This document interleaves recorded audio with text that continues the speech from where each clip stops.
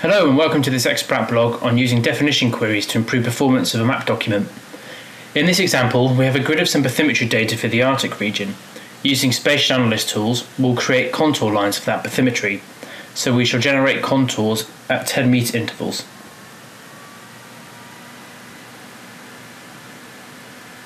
When the geoprocessing is complete, the layer is added to the map document and begins to draw. This feature will take some time to render. This is due to the volume of features created.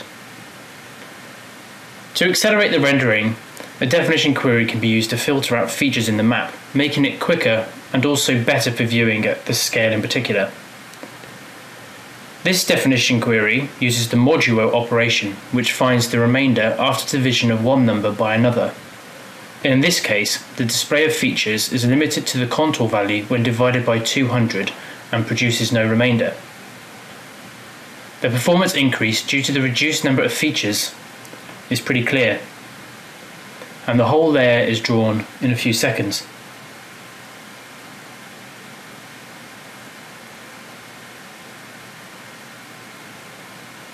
Which if you compare to this layer, which has been drawn in the background without a definition query, the performance difference is very clear.